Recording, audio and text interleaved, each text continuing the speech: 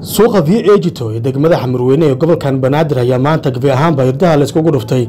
Ka gadaal markii canshuura dheeriah lagu soo rogay ganacsatada halkaasi ku ganacsataa xubno ka mid a ganacsatada oo la hadla warbaahinta kulmiya ayaa shaaca ka qaaday in waxda maaliyadda ee degmada xamarweyne ay ganacsatada ku soo rogeen in ay bixiyaan canshuurta loo yaqaano macaashka kaana ay goor hore ku bixiyeen degedda muqdisho.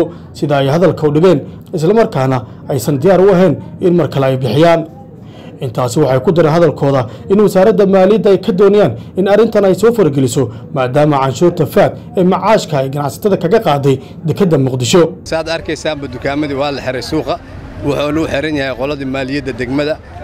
Maalin dhoweeda waxay noo keentay warqado invitation ah ayagoo dhahaaya waxaan idinka rabnaa lacag faad ah oo v i t ah oo annagan aan aaminsannahay in dekedda noolaga soo qaatay maxaa yeelay saad wada og tihiin waxaa jirto wasiirka maaliyadda iyo guruubkiisaba in hadda ka hor ay yidhaahdeen annaga dukaan walba ma tegi karno waxaan waxaynu ku qaadanaynaa dekedda dhexdeeda. Waraaqihiina waa haysannaa oo dekedda alaabta noolaga canshuuray. Saad u jeeddaanna suuqa waa wada xiran yahay. Marka hadda waxaan ka codsanaynaa wasiirka maaliyadda asagoo og qodobkaas.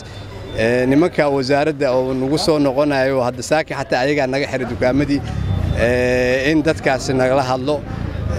Waxaana jeclaan lahaa in arrintan si degdeg ah wax looga qabto. Maxaa yeelay waa ogtihiin xaaladda. Haddana maba saamaxaysaba in ganacsatada maaragtay marna looga qaato dekedda. Haddana la yidhaahdo bidixa wax laydinkaga qaadanaa xoogaa yar wax oo maaragtay dowladnimada nidaamkeeda ka soo horjeedo waayo. Marka waxaan codsanaynaa wasiirka iyo gruubkiisa tiimka maaliyadda inay arrintan ka soo jawaabaan.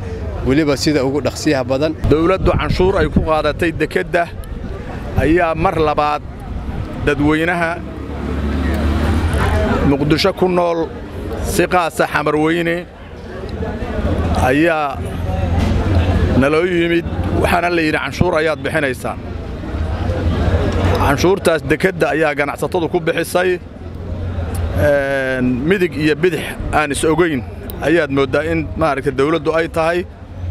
Marka annagu waxaan codsanaynaa dawladda dhexe arrintaas ayadaa inay soo farageliso si shacabka iyo dawladda cusub ee dalka ka talisaa eeya isu seegin.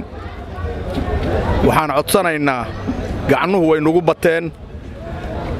Waxaad mooddaa inaan buuxdhaafnay oo cara saa'idinna hayso. Oo aad u jeeddaan dukaantii xamarweyne inay xidhan tahay oo aad u jeeddaan muxuu ahaa dadkii ka xamaalo jiray inay ma garanaysaa muxuu ahaa ay bannaanka taagan yihiin oo meesha dhooban yihiin. Waxaan codsanaynaa madaxda dawladda dhexe iyo dawladda muxuu ahaa madaxweynaha muxuu ahaa xasan sheekh maxamuud. Arrintaas ayadaa inuu soo farageliyo in shacabka gacannagacnaynta laga daayo. Shacabku waa way xaddhaafeen iskoobiya inay qaataan oo qarxaan ay taagan yihiin.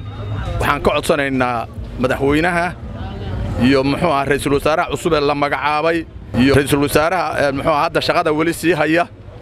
Aad iyo aad ninaan ugu kalsoonnahay oon odhan karno waxaa weeye soomaaliya mugdiga ayuu ka saaray soomaaliya mugdiga ayuu ka saaray soomaaliya mugdiga ayuu ka saaray. Waxaan codsanaynaa gacnaha hoose in muxuu ahaa dawladdu ay ma garanaysaa naga joojiso. Maantay wuxuuna u xidhan yahay wasaaradda maaliyadda oo tiri waxaan idinka rabnaa canshuur la yidhaahdo v a t ama faad canshuurtaasna hadda ka hor waa la og yahay ganacsataduna way og tahay wasaaradda maaliyadda madaxdeeduna way og yihiin. Inta la wada fadhiistay wasiirka maaliyadda iyo maxaanku idhahdaa madaxda kale ee ka hoosaysa ayaa waxaa lagu gebangebeeyaa canshuurtaas in lagu baxsho. Faadka la yidhaahdo dekedda dekeddayna ku qaataan five bersentiga warqadihii aan haynaa wax dekedda soo agmaray oo cirka ka soo dhacay oo badeecaana halkan kuma hayno badeecada halkan aan ku haynaa waa badeeca dekedda soo martay oo canshuurtii faadka laga soo qaaday taasoo ahayd markeeda horeba sharcigeedu inaan ku bixinno markaan waxgadno kabacdi inaan bixinnay ahayd. Laakiin si muqaddamo ah iyadoo xaaladaha jira la qiimaya ayay dawladdu hore u qaaday waxaan leeyahay dawlad war magaalo waraaqu ku yaallaa. Dawladdu dukumiintigii ay wax ku soo canshuurtaan haynaa. Waxaan leennahay haddaysan iska warqabin madaxda wasaaradda maaliyadda iyo dadka ay soo dirayaan oo maxaanku idhahdaa waaxda canshuuraha ka socda arrintaas ha iska soo waraystaan lacagtaas ceeriinkay ku qaateen iyo bisel nooga soo raadin hadda annaga arrintaas arrinna qabata maaha wixii in bidax iyo midig loo kala qaado annaga kolley midna qabata maaha annaga canshuur diid ma nihin. Canshuurta waa bixinnaa oo waxay ku baxdaa dekedday ku soo baxdaa.